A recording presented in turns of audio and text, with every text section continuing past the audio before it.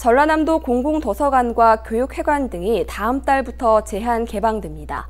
전남교육청은 공공도서관과 교육문화회관, 평생교육관의 열람실을 6월 1일부터 제한적으로 개방되며 인원을 조정해 운영할 계획입니다. 또 열화상 카메라 등 방역 물품을 비치하고 이용자 출입 관리와 열람실 간격 유지, 칸막이 설치 등 접촉을 최소화할 방침입니다.